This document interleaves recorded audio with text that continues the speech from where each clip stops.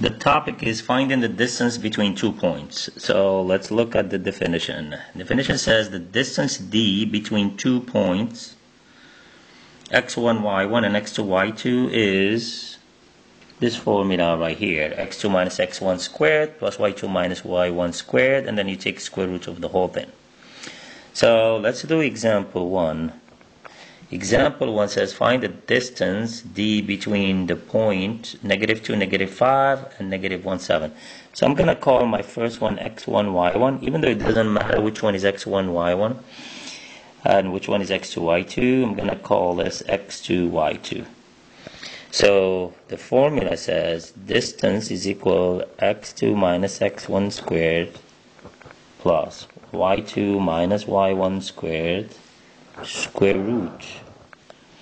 Now x2 is negative 1, so negative 1 minus x1, so minus negative 2, and you want to square all that, plus y2 is 7, minus y1, which is negative 5, and you want to square all that, and then take square root.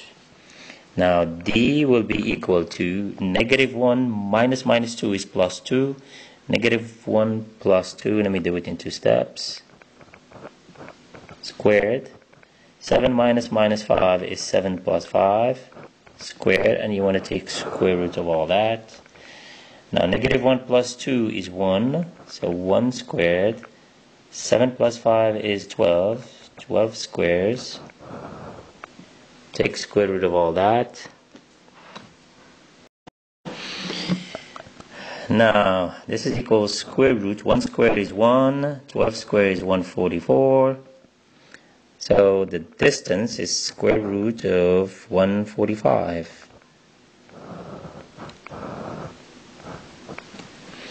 Alright, so let's do the same thing for example to find the distance between the point 0, 0 and 2, 8.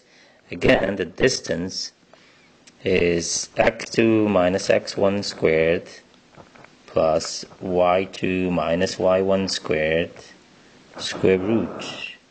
Now I'm going to call this x1, y1, x2, y2.